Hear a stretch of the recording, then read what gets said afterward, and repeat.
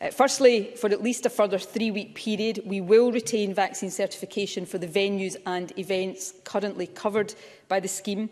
Uh, that is late-night licensed premises with a designated area for dancing, unseated indoor events of 500 people or more, unseated outdoor events of 4,000 people or more, and any event with 10,000 people or more. Uh, given the current state of the pandemic, it is our judgment that it would not be appropriate at this stage to remove this protection against transmission. Secondly, however, we have decided that from the 6th of December, it will be possible to access venues or events covered by the scheme by showing either proof of vaccination as now or a recent negative lateral flow test result.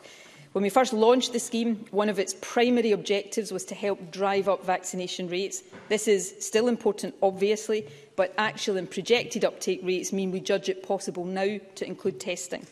Doing so will also ensure that the scheme remains proportionate going forward and also help our wider efforts to stem transmission through greater use of LFD tests more generally.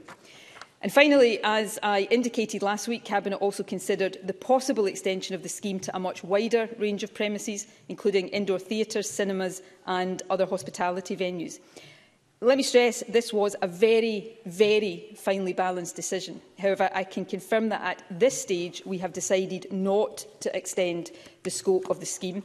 We have taken account of the fact that, although our situation is precarious, cases are currently stable and indeed slightly declining, and we have considered the inevitable impact vaccine certification has on the operation of businesses and concluded that at this stage extension would not be proportionate.